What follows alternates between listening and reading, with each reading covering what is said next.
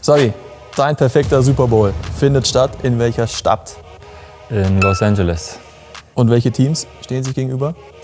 LA Rams gegen Pittsburgh Steelers. Wer singt die US-Hymne vor dem Spiel? Äh, Drake. Wer führt den Cointoss durch? Ähm, Justin Bieber. Wie lautet der Endstand? 28, 26. Für LA Rams. Wer wird MVP? Jared Goff. Wer tritt in der Halbzeitshow auf? Das ist eine gute Frage.